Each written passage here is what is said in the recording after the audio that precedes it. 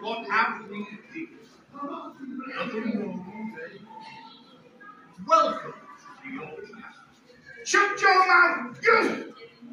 My name is Thomas Ward, but God help you if you use it. You call me Sir or Master Turnkey. If you want food, you see me. If you want drink, you see me. Clean room, clean bedding, you see me. I'm a reasonable man. I look after my friends if they look after me. Maybe I could find you more pleasant quarters for a small fee. One more noise from you, you'll not walk for a week. And my friend.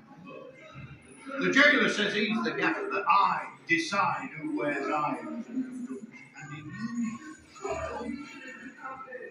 you, and I will be having